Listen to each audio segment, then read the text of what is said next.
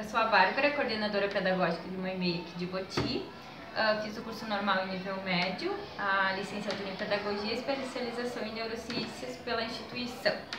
Eu acho que o que fica para o professor, pensando na formação no Instituto Iboti, é que o professor precisa acreditar no processo de aprendizagem da criança, olhando para todas com suas peculiaridades, entender como essa criança aprende.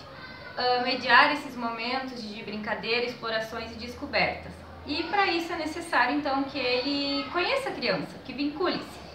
Porque sem o vínculo, nenhuma aprendizagem significativa, ela não ocorre, não acontece, não otimiza e não se consolida.